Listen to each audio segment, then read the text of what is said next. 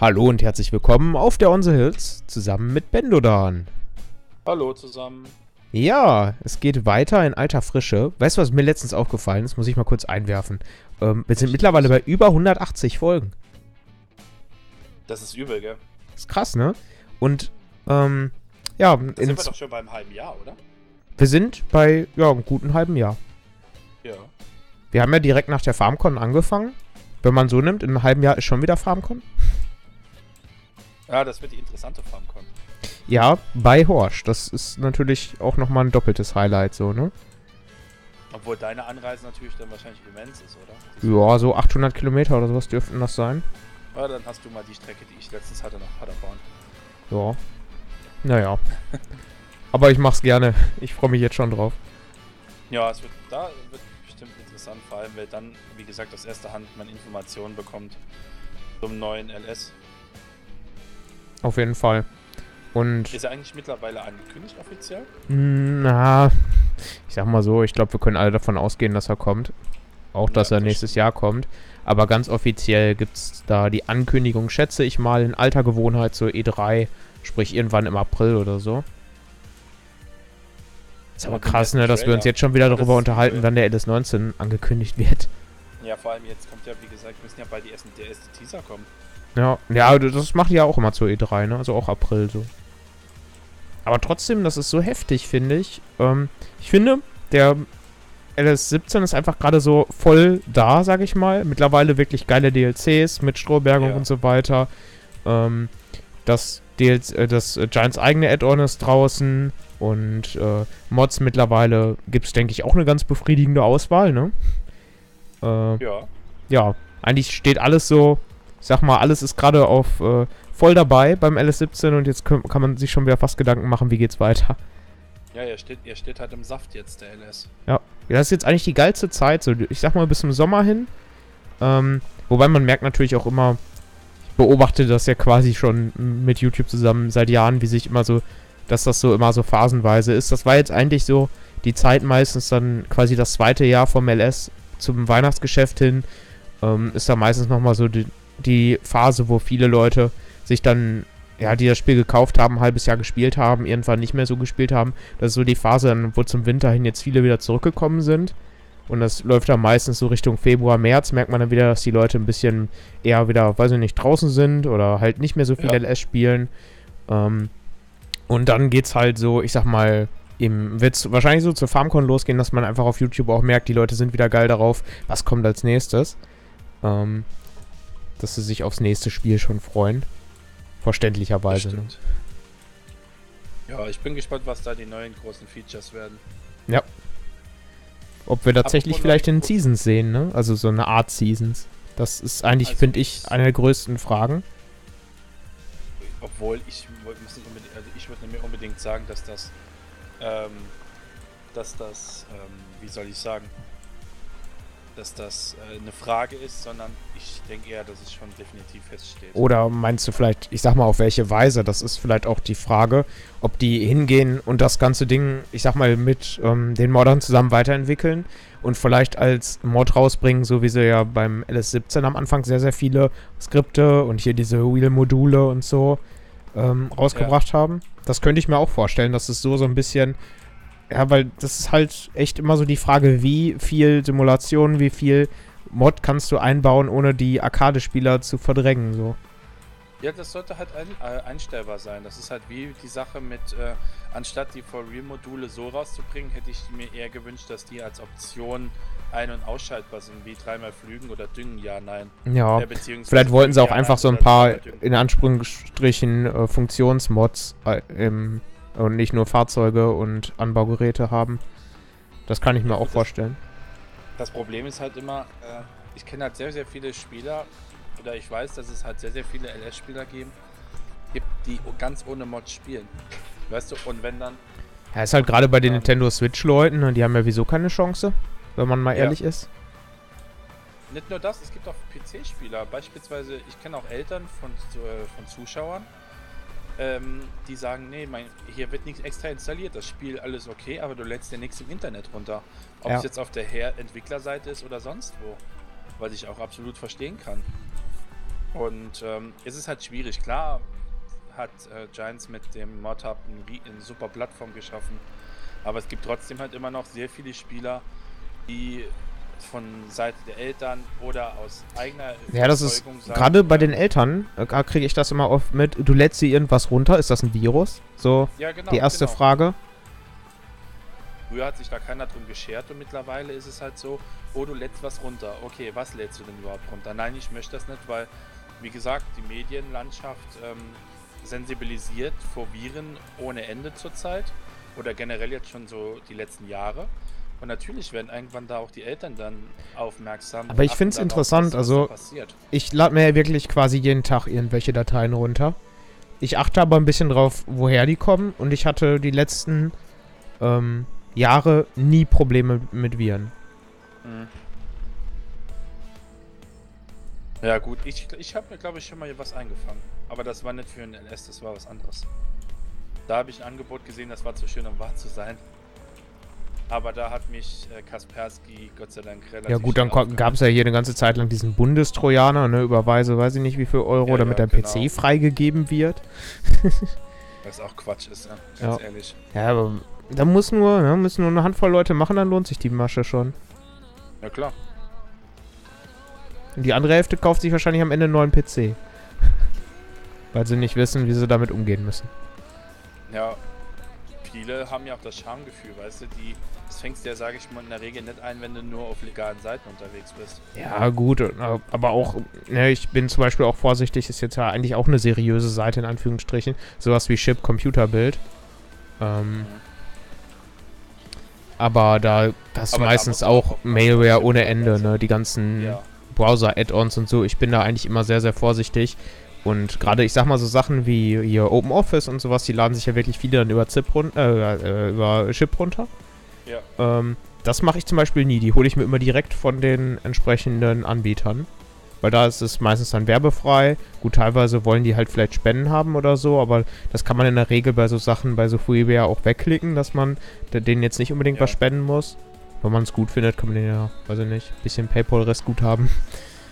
Ja klar. Nur ich hatte jetzt vor kurzem beispielsweise den Fall gehabt, dass ich auf einer Seite, wo ich relativ viele Mods ziehe, weil die von dem Mod-Team bearbeitet werden, hatte ich jetzt von Kaspersky die Seite geblockt, weil irgendjemand oder ein paar User die Seite als korruptiert gemeldet haben. Also ähm, die haben bei Kaspersky gesagt, ja, die Seite, die, äh, wo du hier die Mods runterlädst, so und so, ähm, die ist gesperrt. Äh, oder die, da, da lädst du dir Schadsoftware runter mit den Mods. Und Mhm. die hat mir dann Kaspersky gesperrt. Da musste ich extra ins Menü sagen, ja, ich vertraue der Seite und und und. Ja. Und das, das, war- das war, da weißt du, dann, das sind schon so Sachen. Ist das jetzt fake? Wollen die der Seite schaden oder hat sich da wirklich jemand was eingefangen? Ja, ist auch teilweise, glaube ich, die Leute, die dann misstrauisch sind, weiß ich nicht, die waren auf zig Seiten unterwegs und diese eine Seite ähm, machen sie dann dafür verantwortlich. Ja, ja. Genau. Also ich muss sagen, bei Mods hatte ich echt eigentlich noch nie Probleme und ich sag mal, gut, jetzt, ich denke mal, also bei ModHub kann man, denke ich, davon ausgehen, dass da keine Viren mit, äh, ja, mit transportiert werden über die Dateien, aber trotzdem, Ja, gut, wir, wir kennen ja die, die Entwickler, beziehungsweise. ja, und Giants prüft ja die. Mods im ModHub auch wirklich nochmal und ich glaube nicht, Ja. dass die da irgendwie ein Risiko eingehen, was Viren angeht. Weil kann man die natürlich dann danach auch ein bisschen, ja, ich weiß nicht, ob sie das, ich habe die AGBs jetzt vom ModHub nicht im Kopf, aber ich äh, wäre da vorsichtig. Klar, also wie gesagt, ich, wie, wie gesagt, man kennt sie, nur du kannst halt nicht aus, davon ausgehen, dass jeder gesetzliche Vertreter äh, sich da so auskennt wie wir. Und da lieber sagt, nee, okay, Entwickler hin oder her, das ist nicht auf einer CD, du lädst nichts runter. Fertig. Das ist ja auch der Grund, du merkst das ja wirklich. Ähm, und ich finde, das ist auch ein Riesenproblem in der modernen Spieleindustrie, dass dieser Day One Patch beziehungsweise Patchen, Patchen, Patchen. Bei den Leuten, die sagen, ich will das Spiel installieren, vielleicht akzeptieren sie einmal die Internetverbindung für die Installation zum Verifizieren, ne? Ja. Aber ganz viele wollen danach nichts mehr runterladen. Das kriege ich immer wieder mit. Und dann hast du das teilweise, ich sag mal, bei gerade auch bei jüngeren Zuschauern, wo die Eltern dann noch viel die Hände drüber haben, habe ich das beim LS13 und 15 ganz oft erlebt, dass so nach zwei Jahren LS15, da spielen die dann noch auf der ersten Version, die auf der CD ist. Version 1.0, ja. Ja, ohne die ganzen Patches. Und wundern sich dann, warum sie nicht joinen können im Multiplayer. Ja, genau, und haben dann halt massiv Probleme mit Multiplayer und so weiter, weil halt alle auf einer anderen Version sind. Aber das hat sich ja auch schon gebessert. Ich glaube, man kann jetzt mittlerweile gar nicht mehr zusammen spielen. Nee, Äh, genau, du findest den Server gar nicht mehr. Ja, im LS15 war das, im LS13 war das eine Katastrophe. Da waren nämlich die ganzen Beta-Patches, die an sich schon schwierig waren, weil damals haben die ja dann in den Multiplayer quasi nachträglich den äh, Dedicated Server reingebaut. Ähm, Ja, und das war ja performancemäßig wieso schon alles instabil hoch 10. Und dann waren die Patches auch noch untereinander kompatibel. Und da kam ja gefühlt irgendwie alle paar Tage ein neuer Patch raus. Du musstest dann immer wirklich genau vor jeder Aufnahme gucken, nicht, dass irgendjemand versehentlich abgedatet hat und nicht alle auf derselben Version waren. Dann gab es schon so Sachen, da äh, Schwing, äh, Ping-Schwankungen im Tausenderbereich und so. Also wirklich richtig ordentliche Probleme. Ja, klar. Ja, aber mittlerweile ist das halt dadurch gefixt, dass die sagen, ja, nur die entsprechenden Versionen können zusammenspielen. Ja, ist auch besser so, auf jeden Fall. Aber ich kann sie, wie gesagt, da eindeutig, ich kann sie da verstehen. Aber man muss echt Sag- sagen, der LS ist so unkompliziert geworden über die Jahre. Im LS, im LS 11 einen Multiplayer-Join, selbst wenn du ohne Mods gespielt hast, war schon ein Experiment. Im 13er lief halt vieles mit diesen Patches, die dann nicht gleich waren teilweise und so weiter. Lief vieles drunter und drüber. Und das ist natürlich auch mal ein großes Problem für die Modder, denke ich, weil viele dann machen dann die Mods dafür verantwortlich. Ist ja wieso auch immer noch, Leute, ich kann es nur immer wieder sagen, wenn ihr gerne mit vielen Mods spielt und euch viel runterlädt, könnt ihr ruhig machen, aber macht euch immer für einen Speicherstand, für einen Server, immer einen eigenen Ordner. Weil ich sehe das so oft, ne, dass du. Warte mal, Alt R. Hm? Alt R. So. Ähm, dass äh, es dadurch die dicksten Probleme gibt, wenn du einfach, ich sag mal, 10 GB irgendwelcher Schrottmods, die du eh nie benutzt in der Mod-Ordner hast und irgendwas, irgendein Mod ist dann dabei, der quasi auf dieselben Dateien wahrscheinlich zugreift wie ein anderer und dann hab, hast du nämlich die ganz großen Probleme, sag ich mal, dass nichts so lau läuft, wie es laufen soll Mhm. und ähm, ja, Ja, klar. Was ich mittlerweile auch anstrengend eher finde, ist die Tatsache, wenn du jetzt halt mehrere Projekte gleichzeitig machst, so wie wir jetzt, ähm, du spielst mit denselben Mods und es gibt aber von den Mods unterschiedliche Versionen. Also immer dieses, ich meine, Mod-Hub ist da Fluch und Segen zugleich. Ja. Du kriegst zwar die Mods sehr, sehr einfach, nur die werden so oft geupdatet bei irgendetwas immer. Und dann musst du immer so hinterher sein. Vorher hast du den Mod runtergeladen und den hast dann gespielt. Fertig. ich lasse mich dabei ehrlich gesagt gar nicht stressen. Ich denke mir mal, wenn, wenn der Mod läuft, dann läuft. Ja, das Problem ist, äh, der Stress kommt bei mir erst. Beispielsweise Stappenbach haben wir diese viele äh, Mods, die wir auch hier haben. So, bei Stappenbach sind jetzt beispielsweise aber Mods schon aktueller äh, als jetzt hier auf dem Projekt beispielsweise. Ja, aber du hast doch wahrscheinlich wieso für beides einen eigenen Ordner, oder? Ja, klar. Aber dann habe ich auch noch einen Ordner für die Mods, wo ich sie aktuell halte. Und da kommt halt die, die, die, äh, die große Frage, ja, was ist denn jetzt hier die aktuelle Version? Da musst du immer in den Mod reingehen und gucken, okay, welche Versionsnummer habe ich denn da? Das ist schon ein bisschen anstrengend. Ja. Aber ich bin Oder auch, ich bin bei Patches, ich meine generell immer eine coole Sache, meistens bringen sie was, aber ich habe halt aufgrund alter Erfahrungen mit Mods auch oft die Erfahrung gemacht, es macht oft auch Sinn, einfach wenn was funktioniert, dann das einfach mal so zu lassen. Ja, das Ne? stimmt. Absolut, ja. Ja, ist jetzt, ist jetzt auch irgendwo, sage ich mal, eine sehr kons konservative Einstellung, ne? Aber ich habe lieber was Funktionierendes, was vielleicht irgendein kleines Feature noch nicht hat, als irgendein geiles Feature und auf einmal stellt man aber fest, Performance im Multiplayer geht gar nicht mehr. Habe ich Ja, alles schon erlebt und dann, ja. dann ist man da so ein bisschen vorgeschädigt. ja, klar, du bist dann halt da skeptisch. Ja, aber im Endeffekt ist der LS17, der LS15, die sind so unkompliziert geworden, was so Mod-Verträglichkeiten anging. Im, Im 13er war teilweise echt den falschen Drescher und du konntest deine Speicherstände vergessen. Es ging teilweise im Multiplayer dann mit den Beta-Patches so weit, dass du eigentlich direkt mal das Spiel neu installieren konntest bei bestimmten Fehlern. Ich hatte mir irgendwann mal irgendeinen Mod geholt, keine Ahnung, was es war. Da habe ich gespeichert, habe den Speicherstand geöffnet. Alle Felder waren komplett blank. Okay. Ich konnte die Felder weder grubbern noch sonst was. Äh, Das komm, war nervig. Mm, das ist auf jeden Fall hier ein Fehler mit der Food Density oder so war das. Ja, ja. Der ist mir auch bekannt, ich weiß nur nicht mehr, wie man den fixt. Ich weiß aber auch immer noch, ich wusste damals nicht, welcher Mod das war. Und dann gehst du durch. Dann hast du, keine Ahnung, 300 Mods in deinem Ordner. Ja. So, und dann startest du 300 Mal, wenn es schlecht läuft, das Spiel. Deshalb auch immer nur die Mods in den Ordner packen, die man auch wirklich noch nutzt. Also manchmal hat man ja auch so Sachen, die findet man, die packt man rein und entscheidet sich dann bei dem Kauf aber doch für einen anderen Anhänger als den Mod, den man reingepackt hat. Dann sollte man irgendwann auch hingehen und den löschen. Weil wenn man den eh nicht benutzt, dann ist es halt ein potenzieller Fehler, ohne dass äh, man was davon hat. Ne? Ja, das stimmt. Obwohl ich ganz ehrlich sagen muss, ich bin manchmal so jemand, ich hole mir dann Mods, wo ich denke, boah, die könnten mir gefallen. Dann hast du aber keine Ahnung von der Anhängergröße mit dem Volumina schon Fünf Stück. 17 oder Ja. so, ja.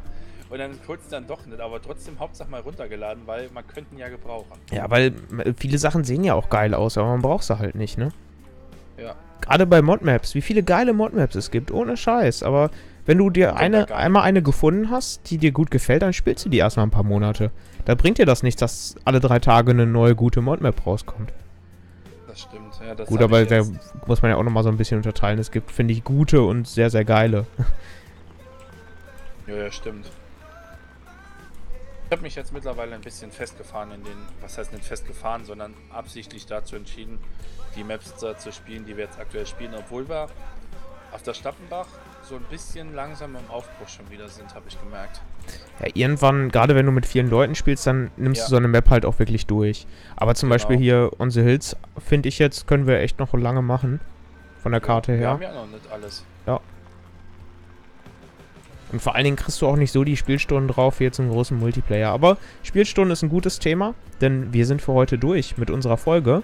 Schreibt mal eure Meinung so zum Thema Mods downloaden. Gut, ähm, ich denke mal, die meisten werden auf jeden Fall Mods geil finden, aber wie ihr das so handhabt mit, mit der Menge an Mods, wie ihr da so vielleicht mit Fehlern umgeht.